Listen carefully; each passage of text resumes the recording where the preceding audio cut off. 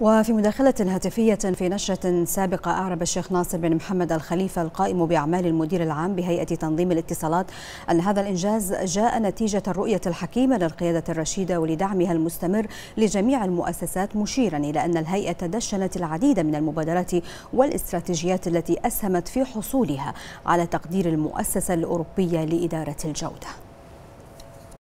حصولنا على هذه الجائزة اللي جاءت ولله الحمد نتيجة رؤية القيادة الرشيدة في مملكة البحرين. ودعمها المستمر لكافة المؤسسات للسعي نحو تحقيق التميز في جميع المجالات.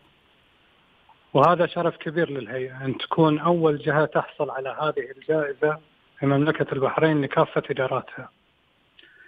آه، طبعا تمنح هذه الجائزة استنادا على جانبين أساسيين وهو عوامل التحفيز وعوامل النتائج. نعم.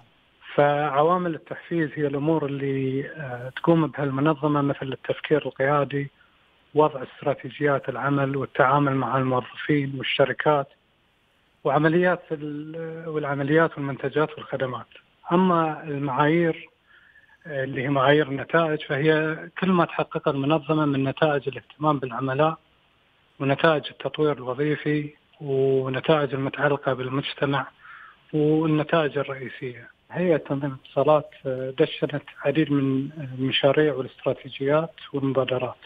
فمنها كان تطوير نظام الاستراتيجية وكان برنامج آه، القيادة وبرنامج التطوير الوظيفي وتخطيط التسلسل الوظيفي ونظام إدارة الأداء ونظام المكافآت وعدد من المشاريع الأخرى. اللي كان لها أثر البالغ في تمكين الهيئة من تقديم نتائج إيجابية وناجحة.